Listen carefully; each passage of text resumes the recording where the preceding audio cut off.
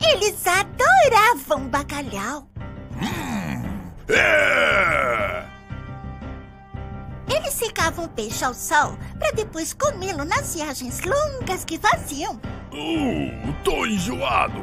Do mar? Não, do bacalhau. Os vikings passaram a tradição do bacalhau seco e salgado a vários povos, até chegar os portugueses. Oh, raios, mas isto é bestial. Não, é bacalhau. Pá! Quando vieram ao Brasil, os portugueses trouxeram a sua novidade na bagagem. E falta grão de bico. E batatas.